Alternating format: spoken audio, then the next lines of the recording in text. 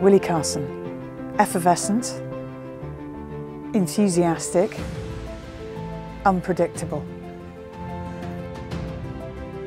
Willie liked, he liked to be in control.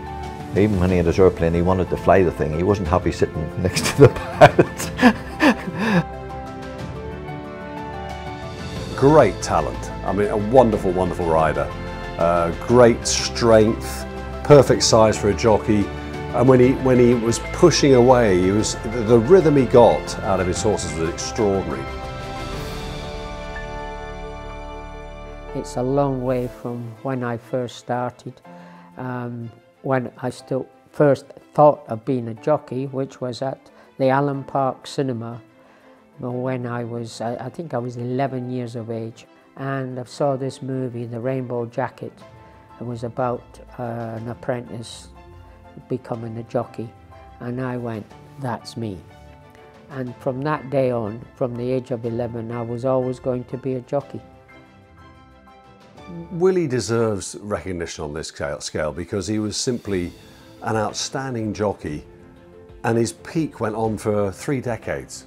He was a model of consistency for, for getting a century a season. That, that came as like second nature to Willie. You can always rely on him to get a, a century. Um, and I think he did it about 25 years in succession, which is quite incredible, really, isn't it, when you think about it? Life at Wish as they come out towards the line. It's Willie Carson who wins the derby on Troy. Dickens Hill is second. Then comes Northern Baby. He had a way of doing it, and he would kind of, and you would think he would be, when you watch him in a race, you think, I can get him now, he's, he's flat out. But he was never flat out, he always had more in the tank. He, he, he lulled a lot of jockeys into uh, a position that they didn't take him on too soon because they thought he's already, he hasn't got much left. But that was wrong.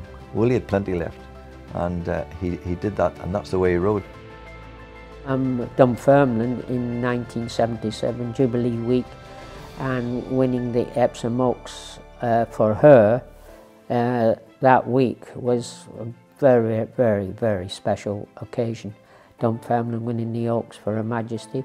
Then there's the Derby Erhaab, where I never left the fence and just screamed at jockeys to let me go. And it came from way out of the clouds. I would regard that Erhaab Derby as one of my greatest rides. You know, of course, because it's the Derby and because of the the way I rode the horse. come from a mile back. He's grabbed the lead. A great Derby winner. Erhaab wins at a length the King's Theatre. Third then is Pencader.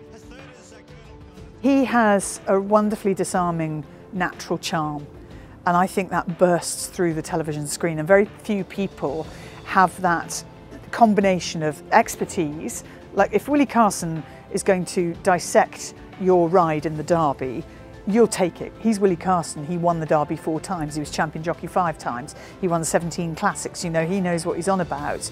But he was also so funny about things.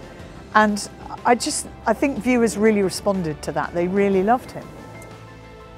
Yes, well, I've done a few things in my, my life that um, um, being awarded into the Hall of Fame is, well, it's one of the big things really. It is a real big thing to be invited in there.